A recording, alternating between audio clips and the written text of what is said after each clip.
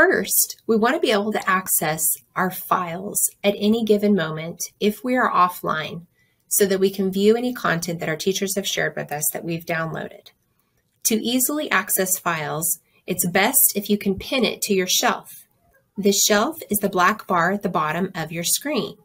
So let's go look for the files icon and pin it to our shelf so that it's easy for us to find files later.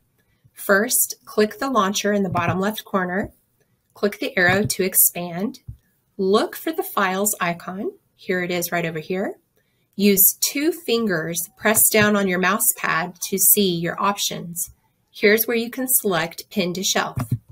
Now we've pinned it to our shelf so it's easy for us to find the files that we save.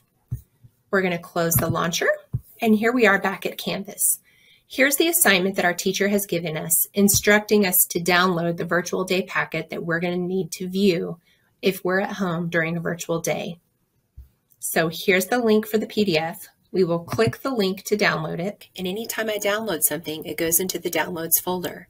So you'll want to click the show in folder button and you'll see that the file saved into my files downloads. We don't want it to stay in the downloads folder. We want to move it over into a new folder that we're going to create. So I want you to click on my files and then I want you to use two fingers and press down on the mouse pad and then click New Folder. We're going to call this folder Virtual Day Packets.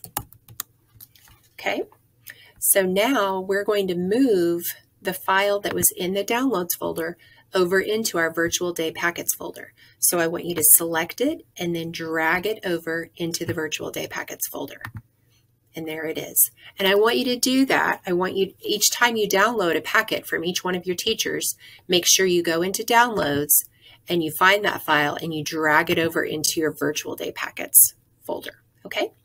Now you need to submit the assignment so that your teacher will know that you have successfully downloaded it. So click Submit Assignment.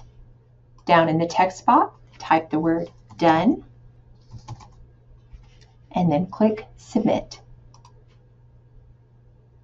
Let us know if you have any questions.